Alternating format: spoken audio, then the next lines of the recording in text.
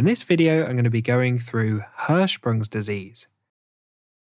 Hirschsprung's disease is a congenital condition where the nerve cells of the myenteric plexus are absent in the distal bowel and rectum.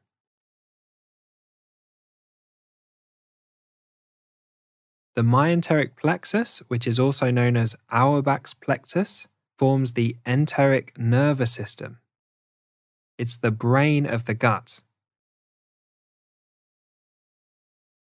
This nerve plexus runs all the way along the bowel in the bowel wall and is a complex web of neurons, ganglion cells, receptors, synapses, and neurotransmitters.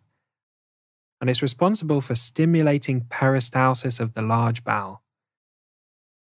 Without this stimulation, the bowel loses its motility and stops being able to pass food along its length. The key pathophysiology in Hirschsprung's disease is the absence of the parasympathetic ganglion cells. During fetal development, these cells start higher up in the gastrointestinal tract and migrate gradually down to the distal colon and the rectum. Hirschsprung's disease occurs when the parasympathetic ganglion cells do not travel all the way down the colon, and a section of colon at the end is left without these parasympathetic ganglion cells.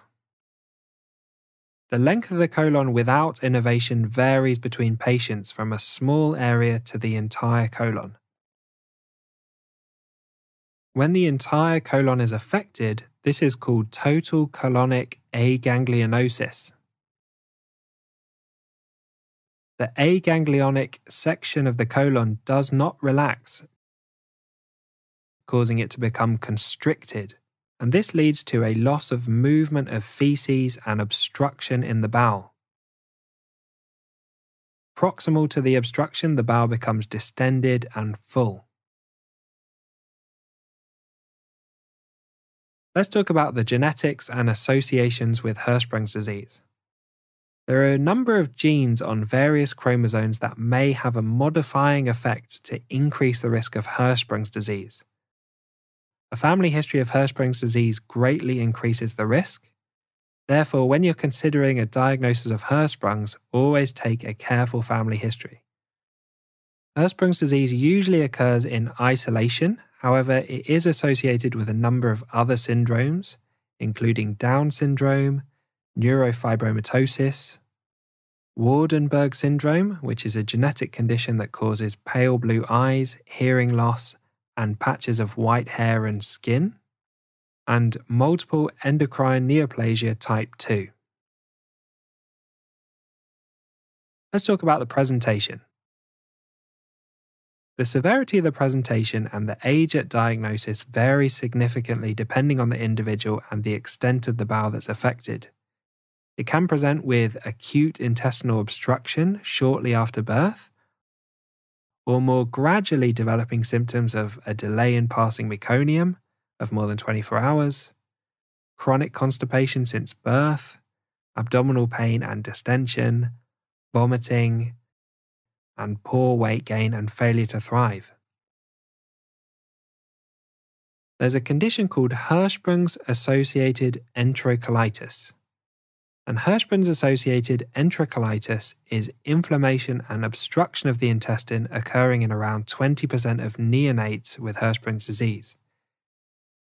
It typically presents within two to four weeks of birth with a fever, abdominal distension, diarrhea, often with blood, and features of sepsis. It's life threatening and it can lead to toxic megacolon and perforation of the bowel. And it requires urgent antibiotics, fluid resuscitation, and decompression of the obstructed bowel. Let's talk about management of Hirschsprung's generally. An abdominal x ray can be helpful in diagnosing intestinal obstruction and demonstrating features of Hirschsprung's associated enterocolitis. A rectal biopsy is used to confirm the diagnosis, and this is the key fact to remember for your exams. The bowel histology will demonstrate an absence of ganglionic cells. Unwell children and those with enterocolitis will require initial fluid resuscitation and management of the intestinal obstruction. IV antibiotics are required in Hirschsprung's associated enterocolitis. And definitive management is by surgical removal of the aganglionic section of the bowel.